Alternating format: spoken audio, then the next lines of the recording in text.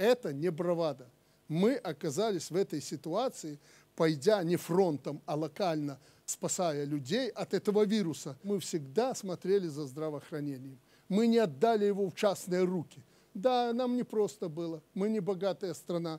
Нам это дорого обходилось. Но зато это сторится и вернется.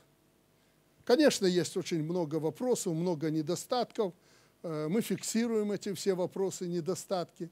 И после окончания этой эпопеи, истерии и вирусной этой болезни, мы примем соответствующее решение, которое значительно усилит наше здравоохранение. Мы видим, что еще надо сделать.